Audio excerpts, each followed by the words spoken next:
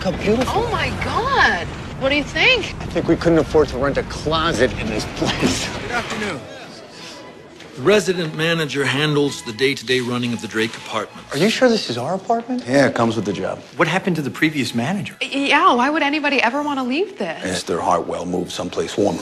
Now sign the contracts and get out of here. You got a lot of work to do. The Drake, known for the finest living in the city. I am taking you dress shopping. Well done, my dear. Home to 80 residents. Hi, I'm Louise. Jane, nice to meet you. She stop by for drinks sometime. It's a friendly building. But don't let the amenities fool you.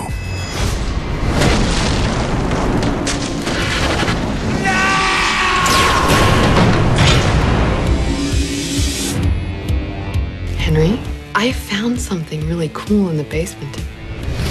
If you just don't get fired for being nosy, this apartment rocks. I like her spirit. She's how we get Henry. It's not right what you do. What I do is fulfill needs.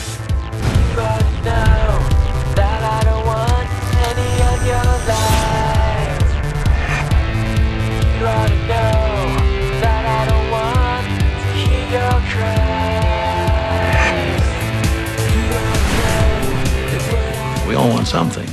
It's the essential truth of who we are. Now it's time to settle up. This place seems so dark.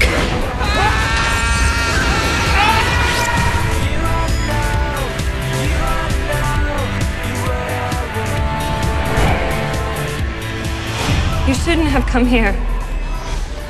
They're never gonna let you go.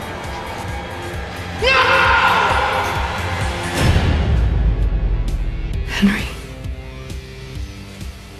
are we gonna be okay here?